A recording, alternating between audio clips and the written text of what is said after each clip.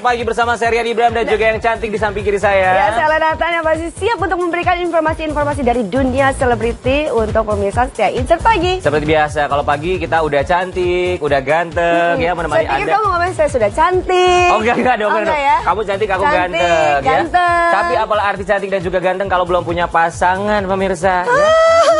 Kenapa sih pagi-pagi ini langsung mengorek luka? Ini lagi happy-happynya. Tapi soalnya kita akan Oh, melihat bukan. nih, kenapa? Jomblo itu adalah pilihan. Nah, jomblo itu pilihan benar ya. Kali ini kita akan melihat pasangan yang udah nggak jomblo karena mereka sudah punya pasangan, mereka sudah menikah, Hmm. sudah punya anak juga, sudah bahagia dengan keluarganya dan akan ditambah lagi kebahagiaannya. Iya, ada Andika dan juga Indra Bekti yang akan bercerita mengenai kehamilan istri mereka. Aduh, kalau misalnya dari istrinya Indra Bekti ini kan kehamilannya 7 minggu nih pemirsa. Hmm. Dan kalau Andika Pratama, Usi Ulistawatinya ini kehamilannya 6 Eh, bulan udah ya. enam bulan Enam gitu bulan ya. Jadi ya. jenis kelaminnya itu sudah ketahuan. Oh, udah Tapi ketahuan? begitu ditanya nih sama Indra dan juga Andika, Mhm. apa sih yang ingin kalian eh, dapatkan dari eh, jabang bayi tersebut? Jenis kelaminnya yang laki-laki atau perempuan. Tapi keduanya Oke. memilih untuk memiliki anak laki-laki. Anak laki-laki karena Indra Bekti dan juga Andika Pratama kan ini masing-masing memiliki anak perempuan semua, perempuan. makanya pengennya laki-laki. Tapi ternyata Usi Sulistiyawati setelah dicek ya, di USG hasilnya, hasilnya adalah... jenis kelaminnya adalah Perempuan lagi. Hah, masa sih? Iya, perempuan lagi, tapi nggak apa-apa dong. itu kan masih prediksi. Betul, bisa berubah kan nanti ya. Tapi apa pun itu jenis kelamin yang penting sama. Nah, sedangkan Indra Bekti ini belum ketahuan ya, masih karena 7 masih tujuh minggu. Oke. Okay. Oke, kita mau melihat uh, kebahagiaan dari Indra Bekti dan juga Andika Pratama dan berikut liputannya untuk Anda. Ini dia.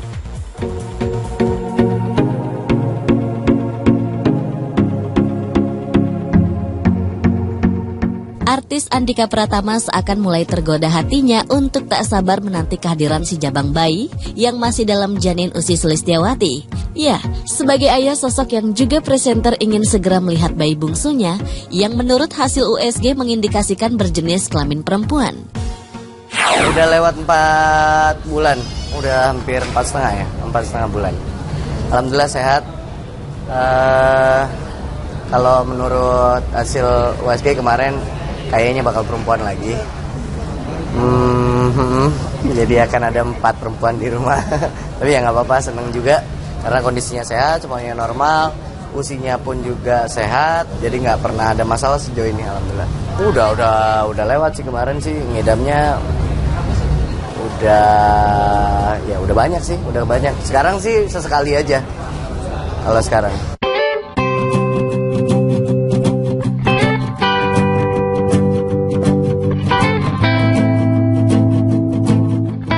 Bisa ditutup-tutupi Andika, bila sebenarnya ia dan istri teramat berharap bayinya kali ini adalah laki-laki. Namun mereka juga tak ingin kecewa saat mengetahui calon buah hatinya lagi-lagi berjenis kelamin kaum hawa. kita syukurin jenis kelamin apa pun kemarin saya sempat harapnya laki-laki istri juga pengennya dapatnya laki-laki karena biar lengkap lah habis itu udah gitu ternyata perempuan lagi terus habis itu eh, saya bercanda-bercanda mau sih kalau misalkan perempuan lagi nambah lagi dong kayak gitu gitu wah nggak tahu deh nggak tahu. Nggak lah cukup lah cukup. Empat emang eh, apa namanya kurang. Kayaknya udah banyak ini. Ya sih kayaknya udah banyak. Ya kayak gitu-gitu aja sih sebenarnya kalau eh, excitednya biasanya tiap ke dokter saya selalu dampingin gitu. Saya pingin mantau juga perkembangannya seperti apa. Terus kan kalau misalkan di USG gitu kan lucu ya maksudnya dia gerak apa segala macam. Gitu. seneng aja gitu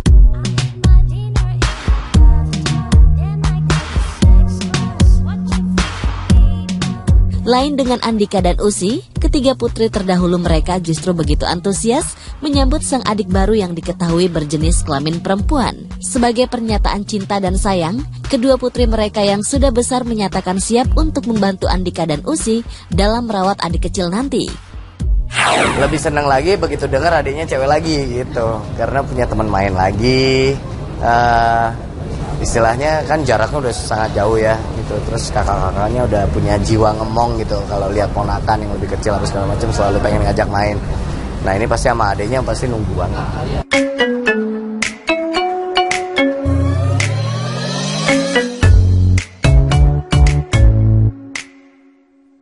Perasaan tak sabar untuk melihat anggota baru keluarga hadir di tengah keluarga juga tengah dirasakan artis yang juga presenter Indra Bekti. Walau tak menduga bila istrinya Adila Jelita tengah hamil 7 minggu, Bekti nyatanya begitu antusias menyambut anak ketiganya ini. Hari ini tepat 7 minggu. Itu eh, apa namanya kita tak menyangka tak dinyana ya. Jadi sebenarnya ini nggak di program-program amat istilahnya kebobolan ya bun. kebobolan yang rezeki ya, ketiban rezeki loh bener-bener.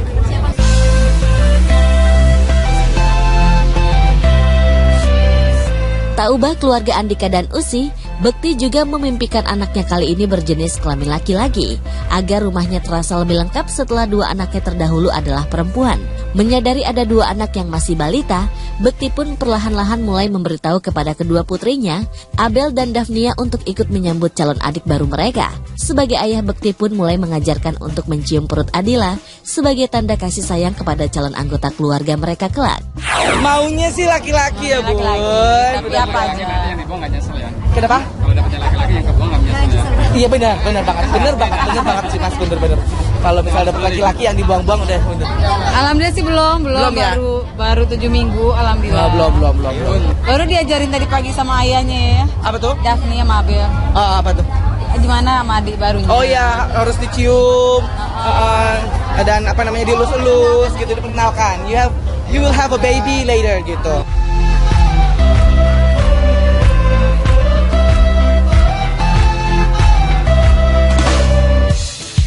Perasaan tak sabar untuk melihat anggota baru keluarga hadir di tengah keluarga juga tengah dirasakan artis yang juga presenter Indra Bekti. Walau tak menduga bila istrinya Adila Jelita tengah hamil 7 minggu, Bekti nyatanya begitu antusias menyambut anak ketiganya ini. Hari ini tepat 7 minggu. Itu uh, apa namanya kita tak menyangka tak dinyana ya. Jadi sebenarnya ini nggak di program-program amat istilahnya kebobolan ya bun. kebobolan yang rezeki ya, ketiban rezeki loh bener-bener.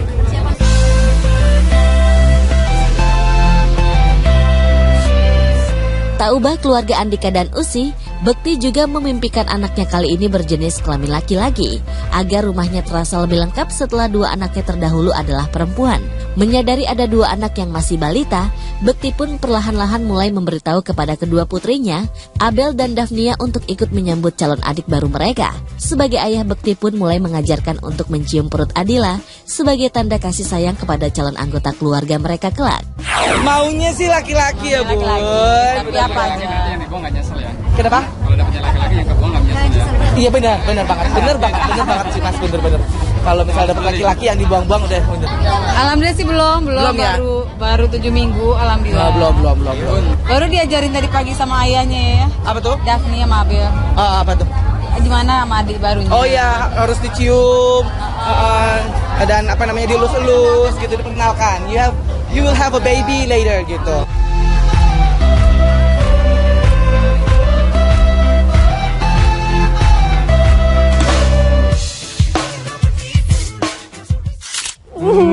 A baby later. Amin nggak? Amin. amin, amin. Aku juga amin deh kalau gitu pemirsa. Kamu nggak bisa mengandung. Ya nantilah calon istri aku nanti Iya, kita iya, lihat ya. iya, Tapi iya, yang pasti iya. kita doakan semoga Indra Bekti beserta istri dan juga Andika Pratama dengan Usi semoga tetap happy apa pun nanti eh, anaknya mau laki-laki mau perempuan. Yang penting sehat kalaupun perempuan kan bisa bikin girl band. Ah, apa pun itu ya, yang penting disyukuri. Nah, untuk Usi dan juga Dila, semoga kehamilannya lancar, selalu sehat, nanti semuanya baik sampai dengan persalinan. Amin. Tapi kalau aku sih mau melihat contoh yang baik dari seorang Indra Bekti dan juga istrinya, dia bilang kalau dia kebobolan, tapi ini adalah kebobolan yang baik, kebobolan setelah menikah ya, jangan kebobolan sebelum menikah itu yang bahaya.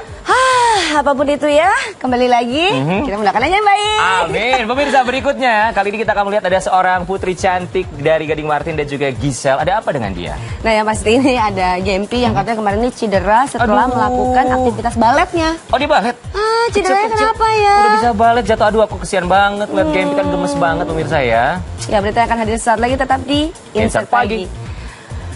Kamu betul. Ya.